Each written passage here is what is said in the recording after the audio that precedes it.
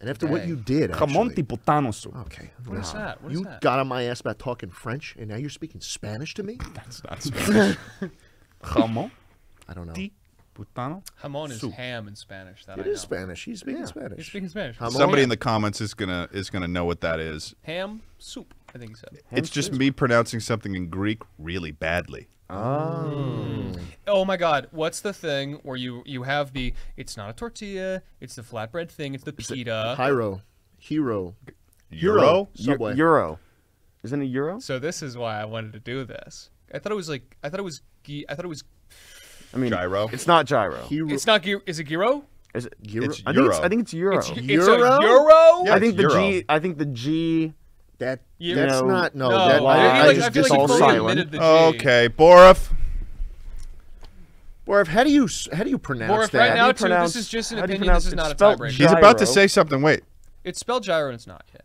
I prefer to say hero Hero. because Hero. it makes me feel good saying Okay, but it. what You do feel peop- like a hero. What does the hero. majority Yeah. of people you know call it? Literally not what you said. They probably say hero because they're from Indiana and they say it in the same accent. No, no, no. I'm gonna pull it out. We're not I'm talking about- I'm we're not talking about like a I'm gonna Google sandwich.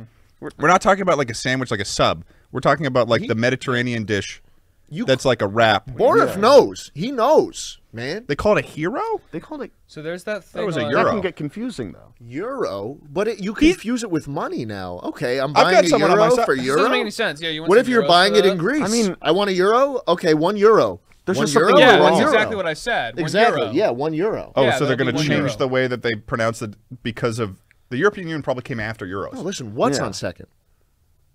Who? I don't know. Is on third. What are you talking about? One euro. No shot. That's what It I'm is saying. euro. Wait, wait, wait. Wait, hold on. That's what I'm saying. Wait, wait, no, no, no, hang on, hang on. Scott, play my fuck you music. You're, here, It it changed every time. Wait, wait, wait, wait, no, no, no. There was like three different ones. No, you heard that, right? I heard it. Euro.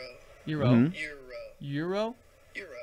That's just him It's pronoun- just that's Euro just him every time, pronouncing it. That's like with I think different it's it pacing. every time. It's just I different it's a different- pacing. I think it's a different one every It's time. different. It's not. It's not different. He just, he just lengthened the the vowel. No, I think he's it. saying it different. He He's kinda definitely was like he gave us some wiggle room, and I think we can we can u- Sort of say do hero what- if we want. Yeah, really it sounded badly. like that. I yeah, mean, why don't you guys just go over there and start jerking each other off? I think that'd be a little bit more What is appropriate. with you and jerking off? Well, you can brush your teeth at the same time. Too. We're You not can give going yourself a to. jerk That's, teeth. that's like No, not a we're thing that not. people It's do. not a thing that Well, you don't have to do. do that, but